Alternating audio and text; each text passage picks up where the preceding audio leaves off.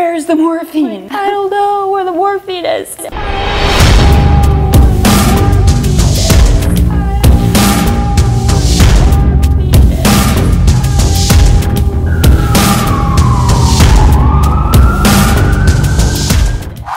guys, welcome to EmpoweRN my name is Carolyn Porter Thomas and thank you so much as usual for watching my YouTube channel. So, I don't really know like how to say it, but uh, lately, and I don't know if you could feel it, I feel like I could feel it, but I'm not really sure if anybody else could feel it.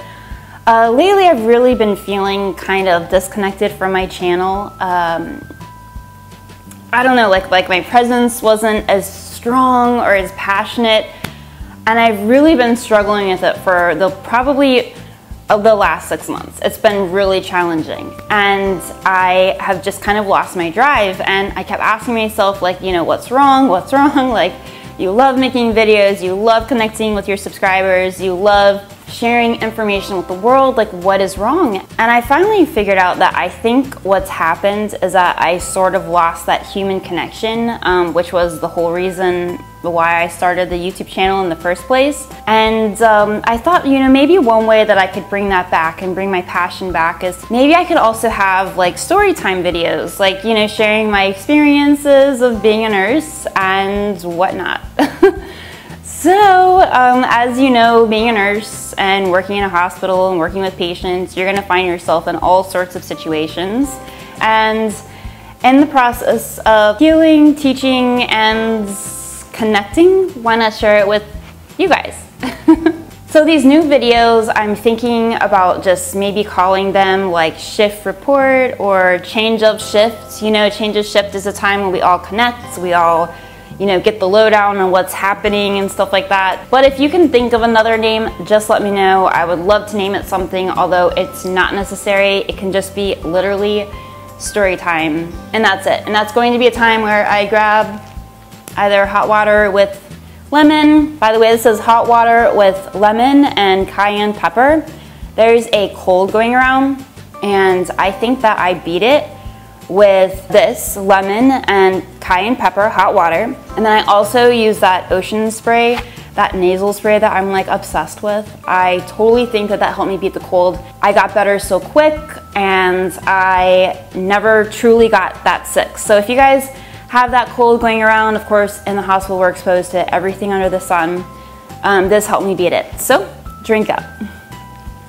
So, the first story that I will be sharing with you guys is obviously, as the title suggests, that time I stole morphine. So the story is sort of a two-step story. Basically, if you're in nursing school now, or if you're a new nurse, or if you're an experienced nurse, you know how nerve-wracking it is being a new nurse because one day you're a normal person, just caring and looking after yourself, and then the next day you suddenly have all these people that you're somehow responsible for and need to care for, and it's a lot of pressure.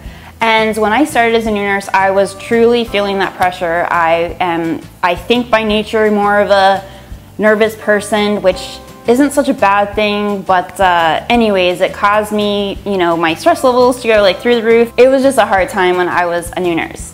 So the last day, and this is part one, this is related to the title, but it's not about that specific thing. So unfortunately, my last day of preceptorship, which was a three month long preceptorship, I made a terrible mistake and I gave the wrong patient another patient's medications. And so coming off of that was really hard. I was really nervous. I had lost a lot of confidence. I was just convinced that one more mistake and you know the trap door was going to open up and I was going to get sucked in and that was it. I was just so nervous. So anyways, um, about a month later, give or take, I'm working on a med-surg telemetry floor and we have a lot of surgical patients and we give pain medication like it's nothing. And you know, I mean, morphine this, dilaudid that, Percocets here, tramadol there. I mean, it's just almost everybody gets something for pain. So hard to keep track of, but you know, we do our best. So I had a patient who had two milligrams of morphine ordered, and on hand we had a four milligram vial of morphine in one ml.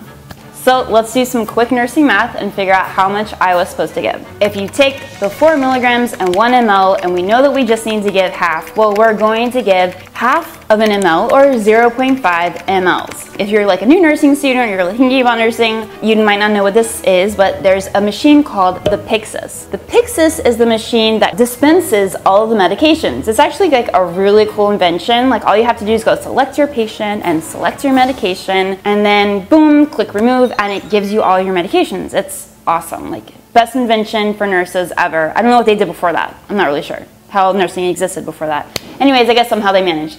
But anyways, it's an amazing invention. Sometimes when you're drawing up narcotics and you're not going to give the whole thing, it asks you if you would like to waste. Now, as a nurse, if you guys are new, if you're not new, whatever, you have to witness other nurses wasting narcotics. And that's just to make sure we're not pocketing them and taking them ourselves or selling them. That's a process that we all know. Now, in this particular machine, we could either do it at that same time or we could do it after. Then, since I was new, I didn't really know what my routine was. I would just kind of do it one time this way and another time that way. So um, it's probably 11 a.m. and I had a patient that requested their morphine. So I go to get it and I take it out. I give the patient the medication and it's a super busy time. I mean, I have six or seven patients. I mean, I'm running up and down those halls. The first like three months of nursing, I don't think I ate or hardly went to the bathroom or did anything. Like I just had no self-care. Like I was just on automatic, like just trying to get everything done. So anyways, I'm going home, gave report, everything feels good. I'm like, that's a good day, you know, like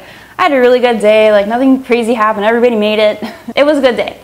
So I'm literally, you know, going to bed, going to sleep. I went to sleep, fine, no problems. I'm working the next day, so I'm like, okay, I better get my sleep in. All of a sudden, at three o'clock in the morning, I'm like, oh my god, I don't know what I did with that other thing of morphine. Searching every single like folder in my mind, trying to remember like what I did with this thing, and I seriously could not remember. The only thing I can think of is that right after giving the 0.5 milligrams, because I know I gave the right dose, because God knows I would not make that mistake. Well, maybe not. Well, maybe not. I think that I gave it and I put it down the sharps which if you guys know, a sharps is a place where we throw away all of our needles. Now, you're not really supposed to waste um, narcotics like that, but actually this was like eight years ago, and I believe at that time, like that's what everyone did. We didn't really know any differently. Maybe we should have, but I think that's what we did. Now we're supposed to waste it in the sink, and like everybody knows that, but back then, pretty much everybody wasted it in the sharps, and that was considered okay, as far as I knew.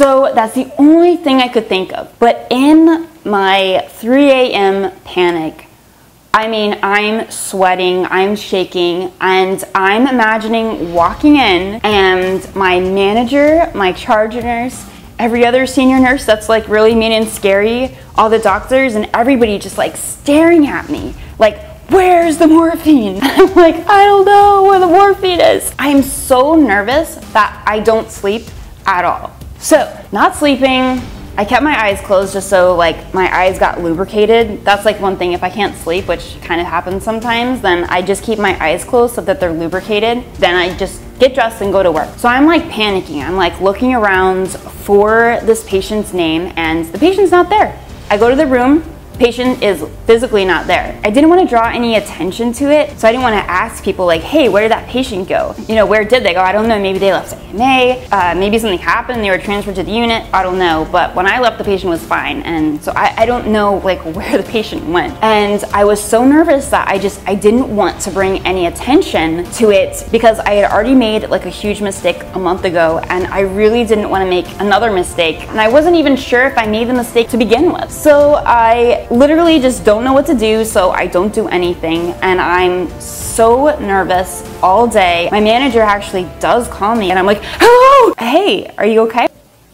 Anyways, I went there to talk and it was nothing to do with that. It was something completely, my camera battery died. Okay, so where was I? All right, so, oh yeah.